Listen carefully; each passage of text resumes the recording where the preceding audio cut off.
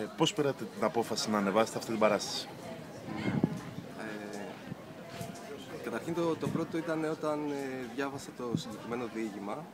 Ε, δεν ήταν ε, ότι πήρα την απόφαση αμέσως. Εντυπωσιάστηκα γιατί δεν φανταζόμουν, δεν, δεν πίστευα ότι ο Διαμάτης έχει γράψει ένα διήγημα τόσο πολιτικό και τόσο αστείο.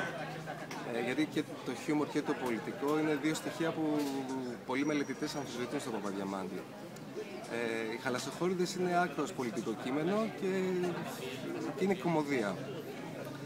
Ε, όταν το διάβασα εντυπωσιάστηκα. Ε, το έδωσα σε δύο-τρεις φίλους να, να το διαβάσουν σαν διήγημα, τους άρεσε πάρα πολύ και έπεσε η ιδέα να το, να το ανεβάσουμε. Ε, οι τρεις γίναμε 7 και έτσι λίγο δεν υπήρχε μια στιγμή που πήραμε την απόφαση, λίγο μας πήρε μετά τα βήματα γίνανε από μόνα τους. Τρομάζει που ένα διήγημα του 1892 είναι σήμερα επίκαιρο.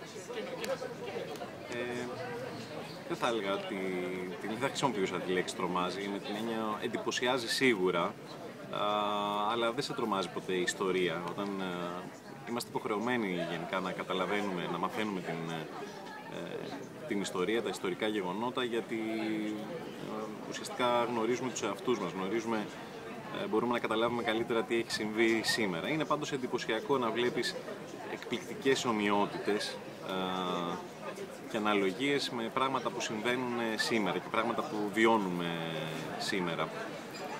από εκεί και πέρα το θεωρώ χρήσιμο να μαθαίνεις τι έχει συμβεί για να μπορέσεις από εκεί και πέρα να στοχαστείς και να σχεδιάσεις καλύτερα τα, τα βήματα της, της δράσης σου και της ζωής σου.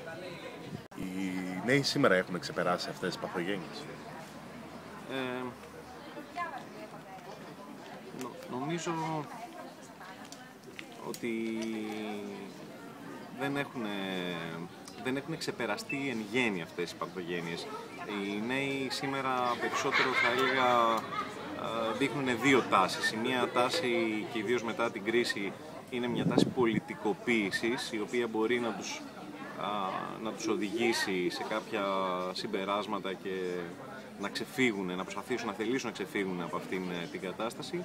Και μια άλλη τάση πάρα πολύ έντονη που υπήρχε και εξακολουθεί να υπάρχει είναι η τάση της ε, απομάκρυνσης από αυτό που λέμε πολιτική. Είναι δηλαδή μια λέξη η οποία και μια έννοια η οποία έχει φθαρεί πάρα πολύ, έχει ταυτιστεί με την κομματικοποίηση η πολιτική, δηλαδή με την, ε, την ταύτισή σου με κάποιο κομματικό μηχανισμό, ούτε καν ε, κάποιο ιδεολογικό στίγμα. Ε, και πρέπει, πρέπει τώρα να επαναπροσδιοριστεί. Δηλαδή νομίζω ότι βρισκόμαστε σε μια διαδικασία που προσπαθούμε να επαναπροσδιορίσουμε την ε, έννοια της πολιτικής και τη σχέση μας ε, με αυτήν.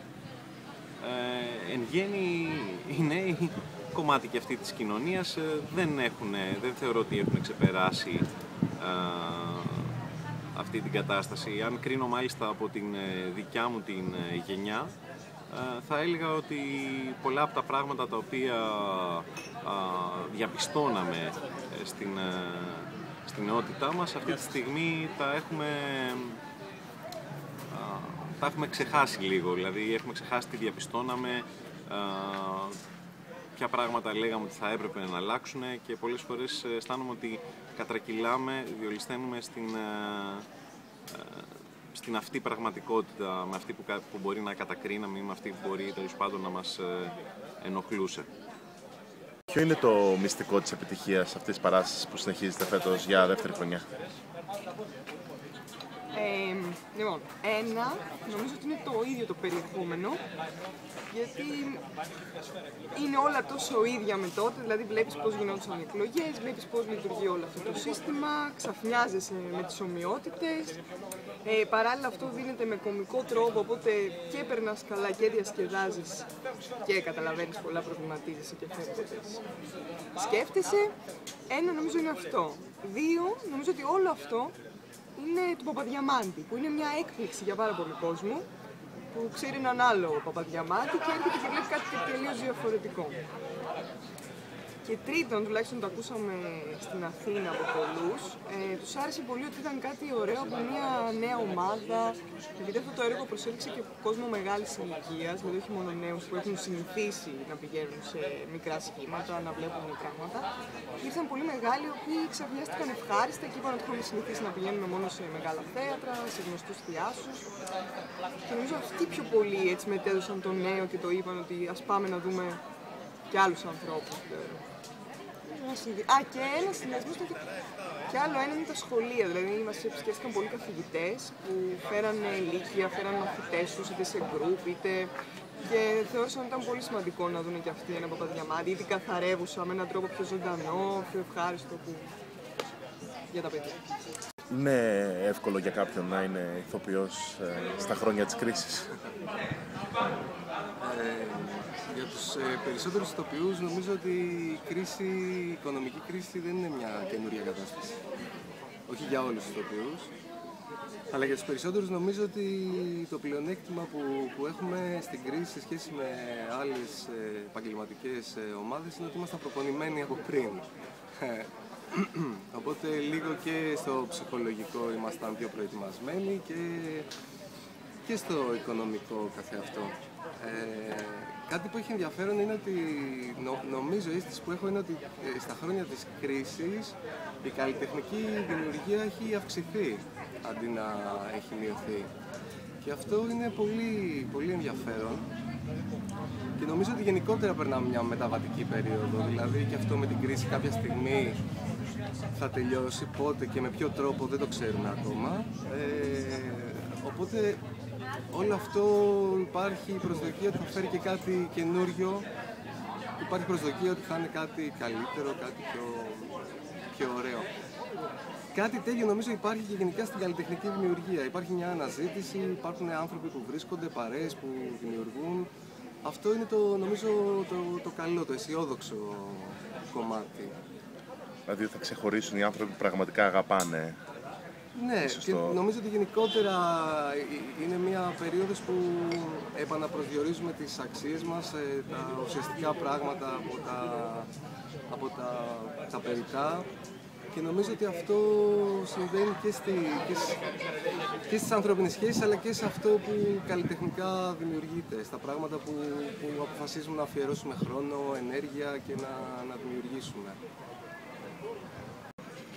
Ε, πώς αποφασίσατε να έρθετε στην Καλαμάτα και τι θα δει το κοινό που θα έρθει στην παράσταση σας;